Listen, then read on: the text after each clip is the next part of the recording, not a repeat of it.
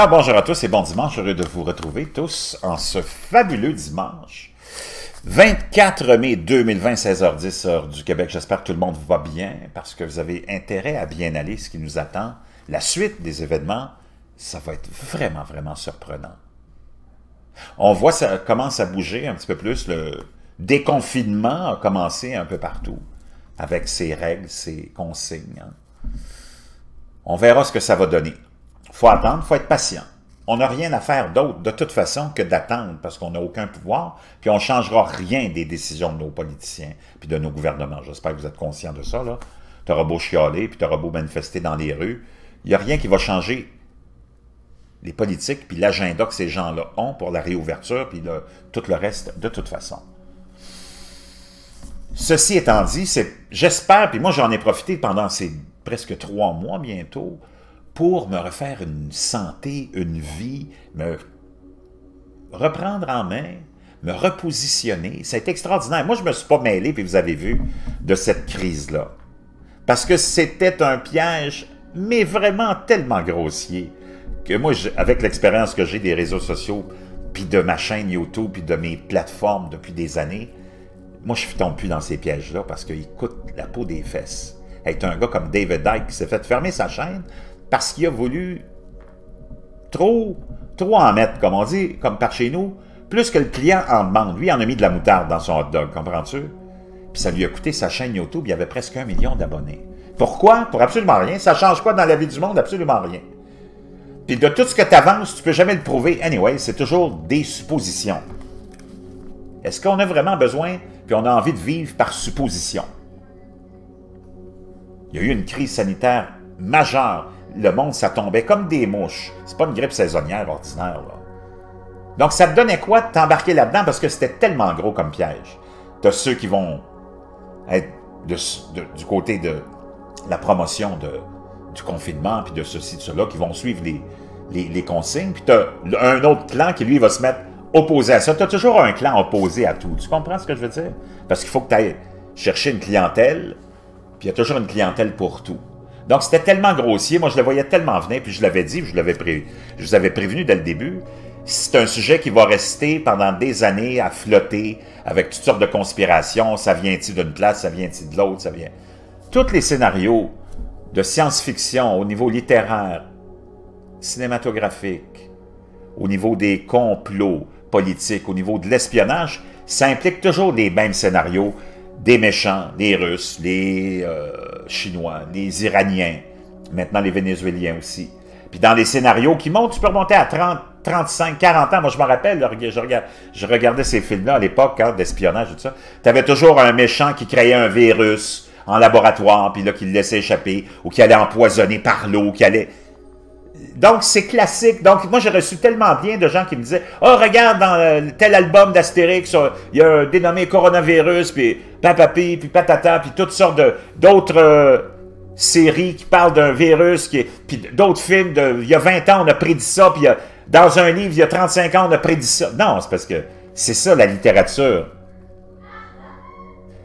La littérature d'espionnage, contre-espionnage, de complot politique et de conspiration politique, ça toujours les mêmes scénarios, ça tourne toujours autour des mêmes choses. Un méchant qui va pas aller fabriquer une bombe, un méchant qui va fabriquer, un virus, un méchant qui va fabriquer un poison, puis dans tous les films de super-héros aussi, tu as ça, Batman, puis Superman. Donc, d'avoir un magazine, une revue ou un livre, un album de dessin animé comme celui d'Astérix qui fait référence à un coronavirus, c'est parce que là, c'est classique, il n'y a rien de surprenant.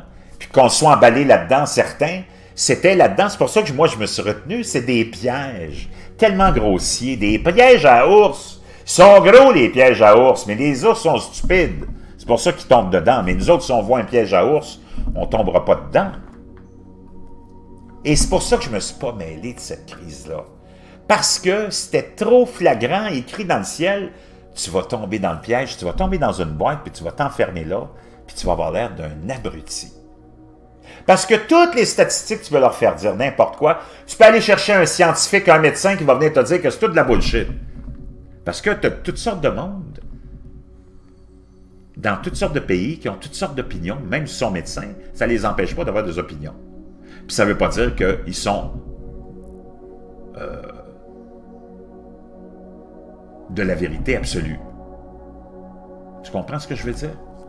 Qui sont habités par la vérité absolue. Tu peux faire dire n'importe quoi à n'importe qui. L'important, c'est d'utiliser ton gros jugement, ton gros bon sens. Car moi, j'ai du monde en Italie que je connais, j'ai du monde en Grèce que je connais, j'ai du monde en Espagne que je connais, en France aussi. J'ai du monde ici, même dans, que je connais qui sont dans le système de la santé. C'était pas une crise normale. Le monde, ça tombait comme des mouches. Faut vraiment que tu, vraiment vives dans un autre monde, là. Avec une grippe saisonnière, ça meurt, oui, mais pas comme ça, comme ça mourrait là. Donc, c'était tellement gros comme piège, c'était tellement grossier, que ceux qui sont tombés dedans, d'abord, ils se sont complètement découverts, ils sont exposés comme étant des gens qui sont pas sérieux, pas crédibles. Ce que tu aurais dû faire, comme je l'ai fait, puis comme moi je l'ai fait, puis que je vous ai aussi suggéré de faire, retirez-vous de ça. Il n'y a rien que tu peux faire de toute façon, il n'y a rien que tu vas faire qui va changer les confinements, la situation, les consignes, puis la réalité. Profites-en pour te ressourcer, c'est un congé que. C'est un arrêt. Moi, je me suis recentré, ressourcé, transformé, amélioré, évolué, avancé, appelle ça comme tu voudras. Moi, j'ai apprécié ce moment-là, puis je voudrais qu'il se termine jamais. Parce que je n'ai pas embarqué dans l'hystérie d'un des deux côtés. Des pièges à ours tellement gros. Puis c'est pas ça qui est l'important. L'important, c'est ce qui s'en vient après, le monde qui va changer. Puis je vous l'avais dit. Ça, ce qu'ils ont vu là, c'est passager. Ça ne te donne rien t'inquiéter, puis t'embarquer là-dedans, puis délirer. Tu as perdu deux, trois mois où tu aurais pu relaxer, te détendre, regarder le show de loin, te transformer, te ressourcer, t'inspirer, méditer, mais tu as été tourmenté, tu as perdu ton temps, tu l'as donné à des gens qui en valent même pas la peine. Il y en a qui ont donné de l'argent. En plus, il y a tout un, scam ici avec euh, euh, dénommé Stéphane Blais, puis des, deux, trois autres clowns sur des chaînes bidons qui sont en train d'extorquer le monde de 200-300 000 piastres déjà.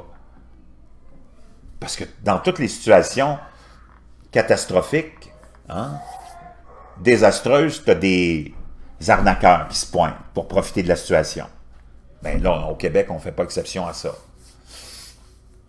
Mais si, si tu avais profité des deux mois, trois mois que tu as eu par chance pour te recentrer, pour faire une meilleure version de toi-même, parce que c'est ça un peu le but de la vie, j'espère, c'est de donner le meilleur de nous-mêmes.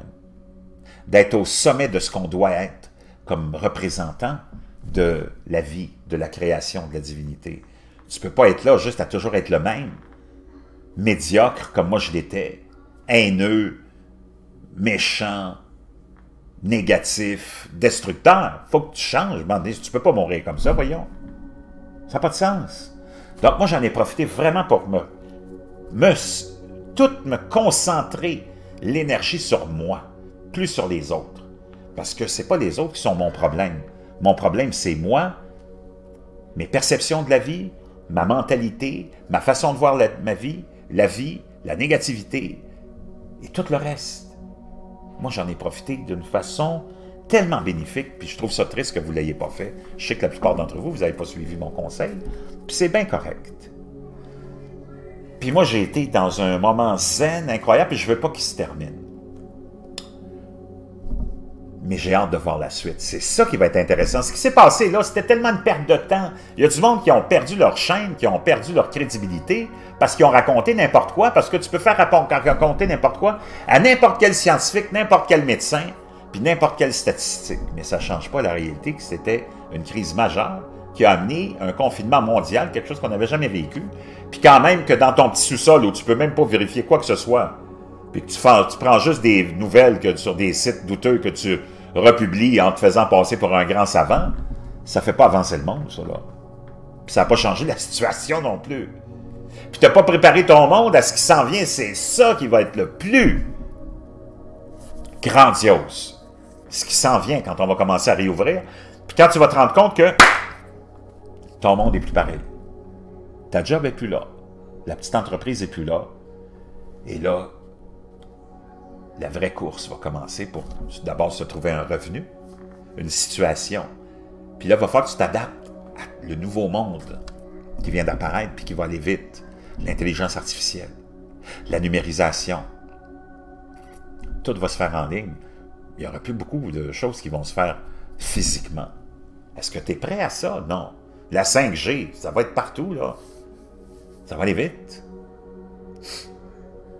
Donc, j'espère qu'il y en a d'entre vous qui avez écouté mon conseil, parce que moi, j'ai tellement, tellement, tellement profité de ça, j'ai tellement bénéficié de ça que c'était extraordinaire, puis je voudrais pas que ça, se termine, mais ça va se terminer. Puis moi, je suis prêt à ce qui s'en vient. Je sais que ça va être majeur, ça va être gros. Plus de tous les changements climatiques qui vont continuer, les catastrophes naturelles, l'hécatombe financier, économique qui va se poursuivre. Ça va être vraiment, vraiment quelque chose à vivre. L'instabilité va venir après. C'est rien ce que tu vois là.